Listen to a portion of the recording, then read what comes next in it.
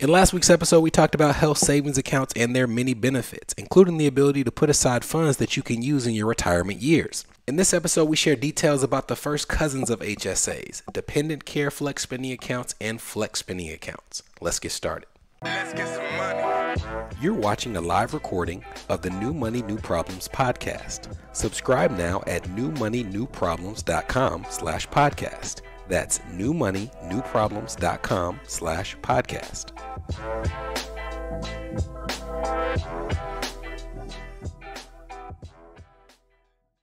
Hello, my name is Brenton Harrison of New Money New Problems and your host for the New Money New Problems podcast. I hope you enjoyed our episode on last week where we talked about the benefits of health savings accounts. And the reason we're doing it at this time of year is because October and November are typically open enrollment period for many employees where they pick the employee benefits that you're going to use over the upcoming 12 month period. Not to recap the entire episode, but just a helpful quick summary of an HSA. Is this an account where you can put aside money that has three tax benefits? You put the dollars aside pre tax, which means you save on your taxable income in the current year. As the money grows and it's invested, it's tax deferred, meaning you don't owe taxes on the growth. And when you take it out for dedicated health expenses, those funds are not taxed either. These plans have to be paired with a high deductible health plan. We mentioned that high deductible health plans typically cost the least amount of money on a monthly basis, but that's because you're on the hook for a higher amount if you have to go to the doctor, if you have to go to a specialist. So it's something that you want to do with caution and making sure that you don't have health concerns. That would mean even though there are a number of benefits to an HSA, you still would be better off using a more conventional lower deductible plan where the insurance company comes in to help you with costs a little sooner. So, for all the benefits of the HSA, there are also some modifications like the high deductible health plan that you have to keep in mind when it comes to structuring whether or not it's the right thing for you. This week, we're going to talk about the first cousins, as I call them, of the health savings account. Those accounts are the dependent care flex spending account and flex spending accounts. And these accounts have a number of similar features, and I want to walk you through both how they're similar to HSAs, how they differ, and after the break, we'll get into some specific case use of when you might consider using them for your employee benefits. Let's start with the flex spending account. Very similar to the health savings account, a flex spending account is something that you typically are going to use for things like dental care or diagnostic work for your health or prescriptions, things of that nature, over the counter medications. All of these things can be paid for with funds that are put into a flex spending account. You put these dollars aside, and just like in the health savings account, you do so pre tax. So, just like last week in our example, we had a person who had a $3,000 biweekly paycheck and they were putting $200 aside, or maybe it was 300 into their health savings account that lowered the income on which they pay taxes by that same amount. So, you're paying taxes on a lower amount. That means you're paying less in taxes. That means your take home pay is higher. It is the same for flex spending accounts. Now, unlike a health savings account, a flex spending account does not have to be paired with a high deductible health plan in order to open the account. Regardless of the health insurance plan you have, if you have an FSA available, you can sign up for this plan and you can put aside 20, 50, $100 a pay period as long as it falls under the 2023 contribution limits. And in 2023, those contribution limits are $3,050 per year per employee. And if you're within that $3,050, you can use all of those funds for the expenses that I referenced. We're going to put a link in the show notes that show you all of the eligible expenses for an FSA because there are a ton of them. And also, like the HSA, many of the larger retailers, like your Targets, your Walmarts, your Amazons, they have dedicated pages on their website where you can go to those pages and everything that's there is already approved as an FSA or HSA eligible expense. So you don't even have to worry about it. You just go on the site, whatever you buy is something that can be reimbursed. If that's the way your employer works, where you pay for it yourself and then get reimbursed out of your FSA, or many larger employers are starting to do FSA credit card style cards, where you actually get a card similar to a debit card or a credit card, and whatever's loaded on that card is your FSA account balance, and you can use that account balance to pay for those expenses either at the doctor directly or online at a retailer like that Target or that Amazon. Now, with an HSA, those funds roll over and the unused funds can be invested as the years go on. So, you don't have to be that concerned with an HSA that you might have put more into the account than you plan to use from that year to year basis. With an FSA, it kind of straddles the line between what we're going to talk about with the dependent care FSA and an HSA. An HSA, you can roll over those funds from year to year a dependent care FSA, you cannot roll over any funds. If you don't use them by the end of the year and whatever grace period your employer might offer, those funds go away completely. With an FSA, it works a little differently. With an FSA, it is almost a use it or lose it account, where just like the dependent care FSA, if you don't spend it by the end of the year or the end of the grace period, those funds will go away. But there is a small exception called a carryover if your FSA plan allows it with your employer, and this is something you have to ask if they allow it, you can roll over in the year 2023 up to $610 from one year to the next. So, for example, let's say that at the end of the year or at the end of your plan's grace period, you have $1,000 in your FSA that's unused. You would need to make sure you spend at least $390 of those funds because only 610 can be rolled over. And in this scenario, that 390, if not spent, would be completely lost. You forfeit it back to the plan. Now let's cover the other first cousin dependent care flex spending accounts. And I cannot express this strongly enough. This is an amount of money that I see young parents forfeiting every single year because of pure lack of awareness of the many eligible expenses that you can pay for using a dependent care flex spending account. Think of a dependent care flex spending account as something not for your health, but for the care of either your children or your elderly loved ones. If you have a dependent on your tax return, like a parent for which you're caring, or a child that's in your household, the things that are associated with their care and well being can often be covered by a dependent care flex spending account. We'll put a link to this in the show notes as well, but I just want to go over some of the many things. I think this is worth taking a minute or so to go through some of the expenses that can be paid for. Dependent or elder care while you work. So if you have child care while you're working, or if you have elder care while you're working, it can be paid for with a dependent care FSA. Elder care, housekeeper who cares for your child, a nanny, nursery school, day camp, like a summer camp for your child, custodial elder care, child care, a before or after care program, babysitting by a relative who is not on your tax return as a dependent, an au pair, an after school program, an adult daycare center, Preschool tuition. Yes, you can pay for tuition out of your dependent care flex spending account as long as your kid is not in kindergarten or older. You can pay for tuition using these funds.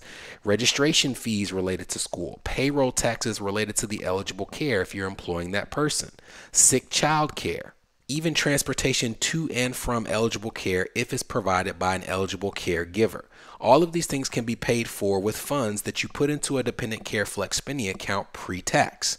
And for those who are in a household where you're not married filing separately or not single, you can put up to $5,000 in the tax year 2023, 2500 if you're married filing separately or you're single. But these are things that if you have children, you definitively use. Even if your child goes to public school, they probably go to a day camp or a summer camp. You have registration fees when it's related to school, processing fees for those registration fees. These are just easy expenses that you know you're going to have to spend for your child.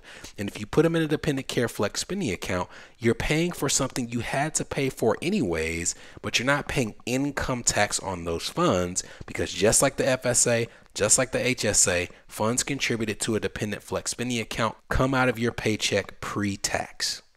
So I want you to think about this. If you have a child who's in daycare and you're like one of the many people out there in this country who are paying a thousand or two thousand dollars or more a month to make sure that your child has a place that you consider safe. If you have them in a private school, if you have them in a day camp, if you have them in an aftercare program, even at a public school or at the YMCA that has an extra expense, these are things where you can get an estimate for how much you're going to spend on them each year. You can put them into your dependent care flex spending account so that amount is put into the account and contributed over the 12 month basis. And just like a flex spending account, many employers will give you a card where you can spend off of that card, or they will do reimbursement where you pay for it yourself, submit it for reimbursement, and the funds are dispersed from your dependent care flex spending account. And I don't want you to underestimate what this could mean to your tax burden. Let's say that we had a family who decided to max out their flex spending account at $3,050, and then they also decided to put the full $5,000 into a dependent care flex spending account. That's $8,050 in total that they had come out of their check pre tax, which lowers their taxable income by that same amount.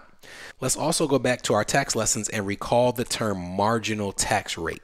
The marginal tax rate is the percentage of tax that you pay on the highest portion of your income. It's where that highest portion falls on that progressive scale that we use for our taxes in this country. So let's assume that our couple in this scenario is in the 32% marginal tax bracket. This would mean that if they put aside $8,050 pre tax and it was all in that 32% tax bracket, they are saving over $2,500 in taxes that year just by paying for things that they already had to pay for, anyways. So I can tell you, to be transparent, it's an extra step. It's a little more difficult than just paying for it off your credit card. You do have to make sure that you have it taken out of your paycheck and potentially get reimbursed or load up your card. But if I told you that by doing that, you would save in this example over $200 a month in taxes, it might be worth taking that extra step for your family because unlike the HSA, you can do both of these tools without having to change the underlying health coverage that you have in place for your family. After the break, I'll tell you how you can estimate what you might be paying for on a yearly basis and how to make sure you don't have unused funds in either of these accounts at the end of the year. This is the New Money, New Problems podcast, a show for successful professionals searching for the tools they need to navigate financial opportunities and obstacles they've never seen. We'll be right back. Are you wondering what new money problems you might be overlooking in your financial life? If so, we've got great news. We've crafted the New Money, New Problems Gap Finder to identify potential weaknesses in your finances in areas ranging from budgeting, investments, insurance, and even the threat your extended family's finances could pose to your household. Please head to newmoneynewproblems.com slash gapfinder to complete it today. Again, that's newmoneynewproblems.com slash gapfinder to take the assessment.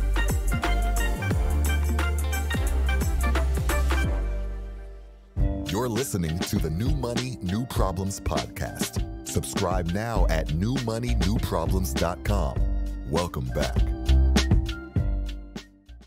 All right, so how do you make sure you don't get left holding the bag when it comes to your flex spending account and your dependent care flex spending account? With your flex spending account, I'm less concerned that you would be left with money that you can't use, more so because of the many ways that you can use these accounts.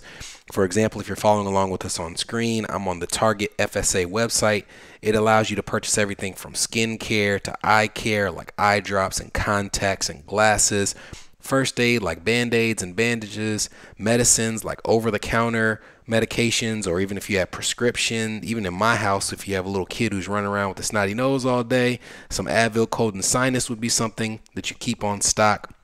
Incontinence, sexual health like birth control and condoms, baby baby items, home health cares like thermometers, vitamins and supplements, oral care, foot care, feminine care, pretty much everything that you can think of that you would go to a Walgreens or a CVS or a Duane Reade to purchase, you can buy with an FSA in addition to the things like copays.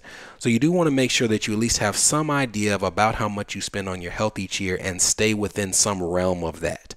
But to me, $3,000 is not that much to spend for a family on their health when it comes to copays and things of that nature. If you find out that you're only spending $1,000 a year, maybe you don't go to 3000 maybe you do 1500 or 1600 so you can stay in that window where you can roll over those $610 of unused funds.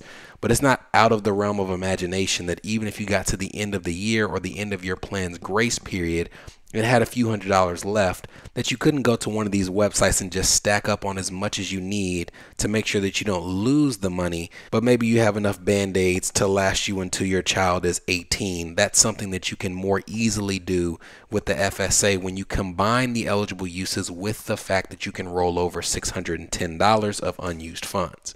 Now, I'm a little more concerned when it comes to families with dependent care FSAs because that is truly a use it or lose it account.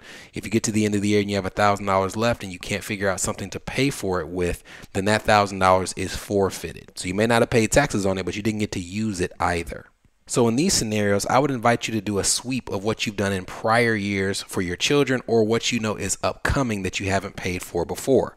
As an example, many people do pay for registration fees for their kids without thinking about it. They pay for summer camp just to make sure their kids out of the house and not knocking things down in the middle of the day while you're trying to work, but they don't really think about how much they pay per week. They don't think about how much it might be for aftercare or how much you might pay for babysitting during the year.